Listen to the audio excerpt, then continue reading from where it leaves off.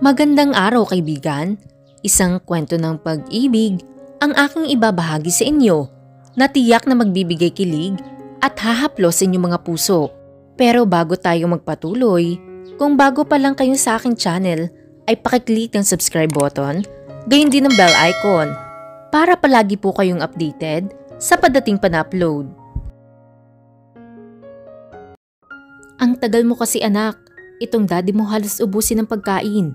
Ani ng ina na makita nito ang reaksyon niya habang nakatingin sa pinagkainan nila. Aba mahal, Huwag mo nang ibunton lahat sa akin dahil maging kayo ni Michael ay maganang kumain. Depensa naman ng ama sa sarili. Natawa ang ina. Oo nga anak. Medyo nasarapan kami sa pagkain. Nagpaluto na ako kay Manang ng pagkain. Anang ng ina sa tagapagluto nila. Mabuti naman. Anya sa isipan dahil ayaw na ayaw pa naman niya na kumakain ng tira-tira.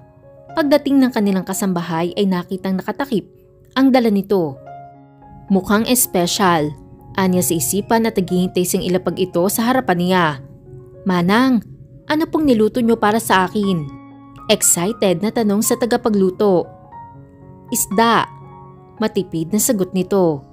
Sinigang na isda po ba? Bulalas tiya. Kahit papano ay nakain naman siya noon. Hindi naman iyon ang gustong kainin pero mas ayos na yun kaysa sa tira-tira.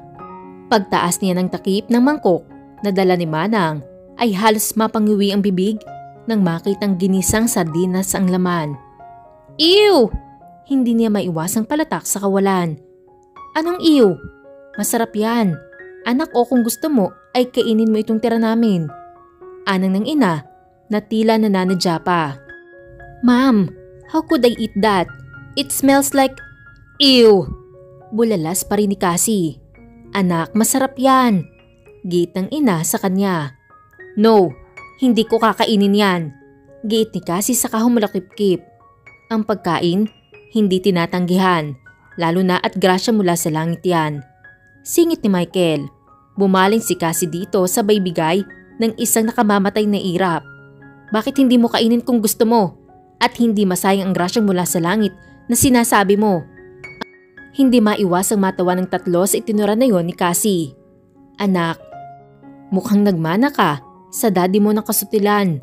Anang ng ginang na makabawi sa katatawa. Ma'am, ayoko talaga niyan. Anya sa sardinas ng kunin niyo ni Michael at kinain dahilan upang matigilan si Cassie. Napapalunok tuloy sa bawat subo ng lalaki na tila sarap na sarap. Na-curious tuloy siya sa kung ano ba talaga ang lasa ng ginisang sardinas.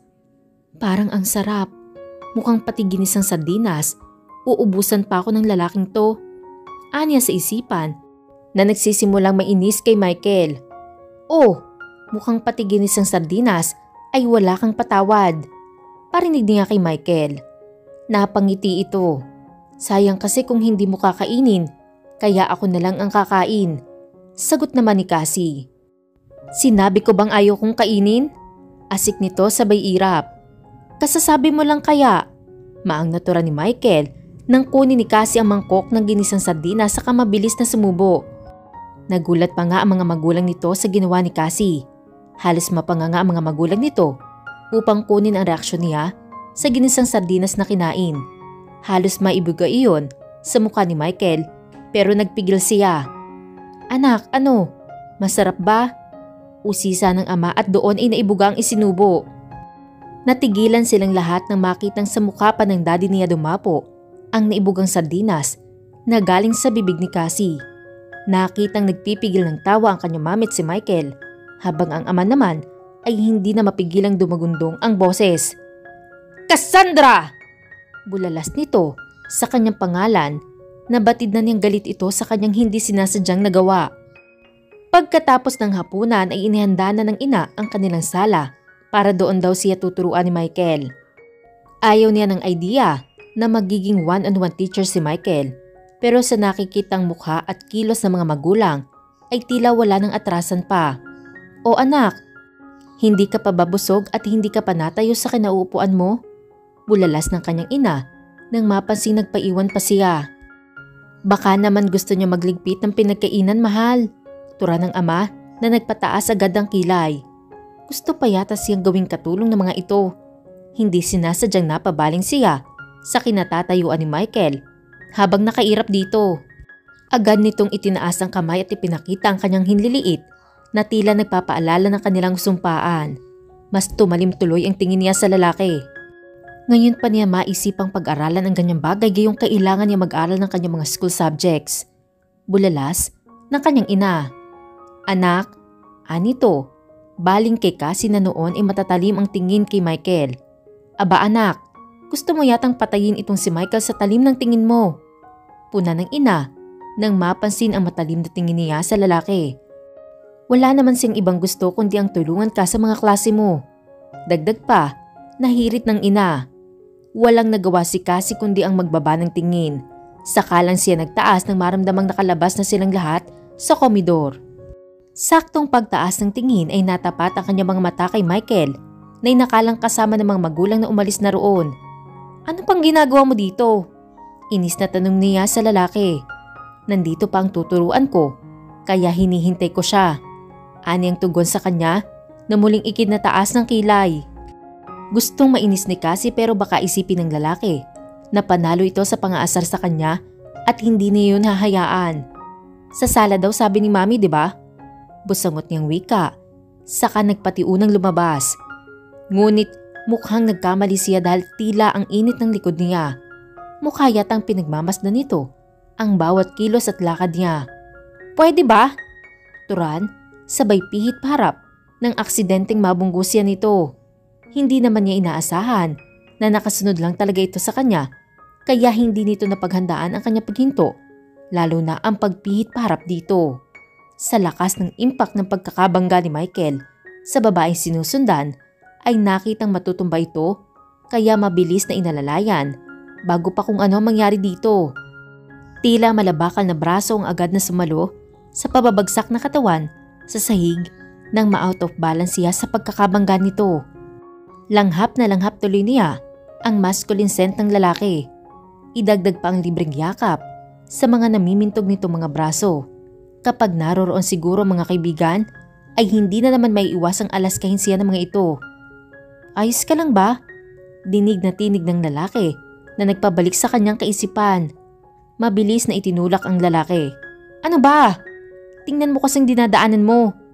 Mataray, naturan sa lalaki. Hey! You broke your promise. Sambit nito sa kanya. I don't care sa promise-promise na yan. Malapit na mabroke ang mga buto-buto ko. Iisipin ko pa mga promise-promise na yan? Inis, naturan sa lalaki. I'm sorry. I didn't mean to. Putol nito nang barahin ilit ang lalaki. You didn't mean pero nangyari. Gilalas niya. Yeah, but I think you deserve a punishment for breaking your promise. Giit ng lalaki sa kanya. Tumaas ang kilay at namintog ang mga mata. Punishment? Maang niya nang biglang lumapat ang labi ni Michael sa kanyang labi. Holy Mary! Bakit ngayon pa? Dilas ng sardinas tuloy. Aniya sa isipan. I think that's enough for now. Mabilis na bitaw ng lalaki sa labi isa ka tumalikod at iniwan siyang nakamaang sa kawalan. Hindi yata nagustuhan ang lasa ng bibig ko. Kaya agad akong binitawan. Anya sa isipan. Uy, mukhang gusto pa yata na mas matagal na halikan kay Sir Michael. Tudyo ng isipan. Mabilis na binitawan ni Michael si Cassie bago pa kung ano magawa dito. Besides, baka bumalik ang mga magulang nito at makita sila sa ganoong tagpo. Ayon niyang isipin ng mga itong pinagsasamantalahan niya kanilang anak. Hindi na niya nagawang tingnan pa ang reaksyon ni Cassie at agad na tumalikod. Saktong paglabas niya ng komidor ay siyang balik ng mami nito. Mabuti na lang talaga at sinunod ang kanyang instinct na bitawan na ito. Dahil kung hindi, ay baka nakita sila nito sa ganoong ayos. O iho, mukhang gulat na gulat kayata. Puna nito nang makita ang reaksyon niya. Ha? Nagulat lang po ako. Sa bigla niyo pong pagsulpot, Sagot sa ginang, nagad na napangiti. Ganoon ba? May nakalimutan kasi ako. Anito? Sa sala na kayo mag-aral ni Cassie. Ipinhanda ko na rin ang tsaa para sa'yo. Ani ng ginang. Salamat po tita. Tugon dito na ikinangiti naman ng ginang.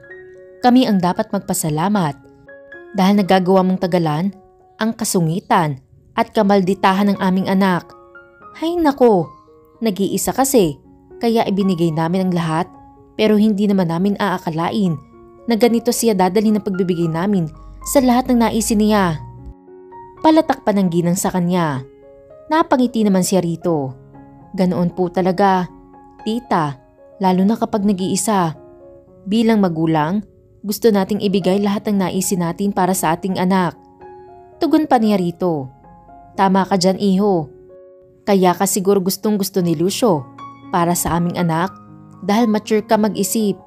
Saad ng ginang na ikinangiti niya. O siya iho, hintayin mo na lang si Cassie sa sala. Dagdag pa nito saka pumasok sa komedor.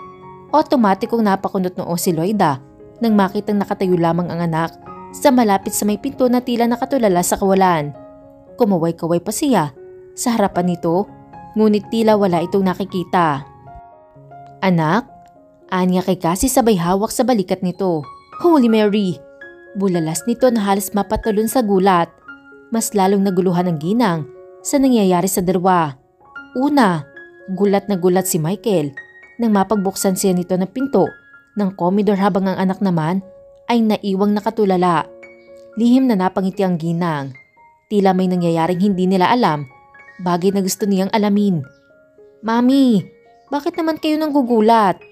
Pukaw ni Cassie sa ina. Mabilis na pinalis ang ngiti sa labi nito at hinarap ang anak. Talaga? Nagulat ka pa sa lagay na yan? Ani ng ina na tila ng aasar. Mami naman eh. Angil niya si ina. Bakit ka ba kasi nakatulala dyan at kahit anong kaway ko sa harapan mo ay parang nasa outer space ang lutang mong isipan. Saway pa ng ina. Mami! Muli niyang angil sa ina. Hay nako, bilisan mo't hinihintay ka na ni Michael sa sala. Paalala ng ina sa kanya. Napanguso si Cassie na maalala ang ginawa ng lalaki sa kanya. Cassie aba, magiging bisyo mo na yata matulala minung minuto. Untag na sabad ng ina dahilan upang mabilis na tunguhin ang kanilang sala. Ngunit nagdatalo ang isipan kung papanhik pa ba siya ng silid upang mag-toothbrush o hindi. Agad na itinapat ang palad at binuguhan yun. Napapikit siya ng maamoy ang paghinga. Hindi na mamaiwasang mapangisi lalo si Loida nang makit ng pasimpleng ginawa ng anak. Natitiyak na niyang tama ang hinala na hinalikan nga ito ni Michael kaya ito nakatulala sa kawalan. Imbis na magtungo si Cassie diretso sa sala, ay agad siyang pumanik sa hagdan, ngunit agad naman siyang napansin ng dalawang lalaki sa sala. Ano sa tingin mo ang iyong ginagawa? Ulalas ng kanyang ama. Inisip pa yata ng mga itong natakas siya, kaya nagsimula na namang dumagundong ang malakas na boses ng ama. Daddy, iihi lang po ako. Kailan niya? Nakakahiya naman niya sabihing magtututba siya dahil baka kung ano pang isipin ni Michael. May CR naman dito sa baba. Tatlo pa. Palatak na wika ng ama. Agad na napaisip ng iba pa niyang idadahilan. Kukunin ko na rin po ang aking mga books and notes. Sad nito. Mukhang doon ay napaniwala ito at hindi na ito nagsalita pa. Mabilis niyang ipinagpatuloy ang pag-akyat sa silid at dumretso sa CR upang mag-toothbrush. Pati gilagid at dila ay walang kawala sa kanya. Sus, naasang hahalikan muli siya ni Sir Michael. Tudyo ng isipan. Nang makontento sa pagtututbrush ng ngipin, ay agad siyang lumabas ng banyo. Anak ka ng kabayo! Palatak niya sa gulat na madatnan sa loob ng silidang ina. Mommy, what are you doing here? Palatak nito. Ano pa, pinapasundo ka na naman ng daddy mo kasi sabi mo ay kukunin mo lang ang mga notes at books mo. Tapos aabutin ka pa ng 10 minuto? Bulalas ng ina. Halos mapatirik ang mga mata niya. Pati ba naman yun ay oorasan nila? Mabilis na kinuha ang kanyang books at notes, saka nagpatiunang lumabas ng silid. Pagdating sa sala ay nadat na si Michael lang ang naroroon. O siya, iiwan ko na kayo. Ani ng kanyang mami. Iiwan niyo kami? Saba niyang wika sa ina. Oo anak, hindi ka na naman kindergarten para samahan pa kita rito. Biro ng ina na nakabungis-ngis. Pagbaling niya kay Michael ay kitang napapigil ito ng tawa. Mami naman eh! Angil niya sa ina. O siya, Iiwan ko na kayo. Anito saka bumaling kay Michael. Ikaw na ang bahala sa anak ko iho. Habaan mo pa ang pasensya mo sa kanya. Bilin pa ng ina kay Michael na tila nga isang batang paslit. Mami! Angil ulit niya rito. Tumawa ang kanyang ina sa kaumalis Naiwan sila ni Michael at kapwa na titigilan. Mga limang minutos din siguro ang katahimikang namayani sa pagitan nila bago narinig ang boses nito na siyang unang bumasag sa kanilang pananahimik. Muli po, sabay-sabay po nating abangan ang susunod na kabanata. Maraming salamat po.